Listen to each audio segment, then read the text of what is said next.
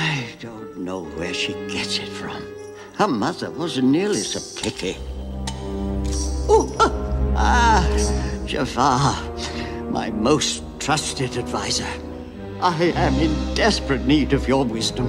My life is but to serve you, my lord. It's this suitor business. Jasmine refuses to choose a husband. I'm at my wit's end. Ah, wit's end? Oh. Have a cracker, pretty Polly. pretty Polly. Your Majesty certainly has a way with dumb animals. now then, perhaps I can divine a solution to this thorny problem. If anyone can help, it's you. But it uh, would require the use of a mystic blue diamond. Oh, uh, my ring?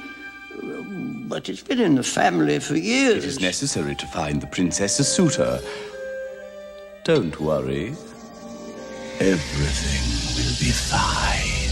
Everything will be fine. The diamond? Here, Jafar.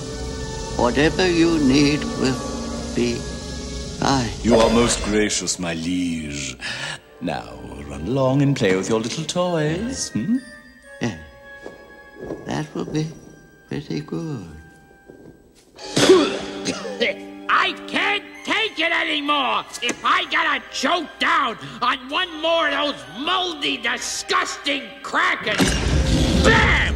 Whack! Calm yourself, And another Iago. cracker on the head. Whack! Soon Whack! I will be Sultan, not that addle-pated twit. And then I stuff the crackers down his throat.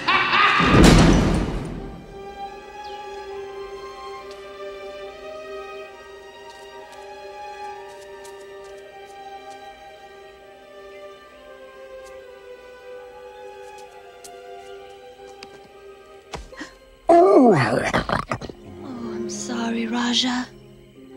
But I can't stay here and have my life lived for me. I'll miss you.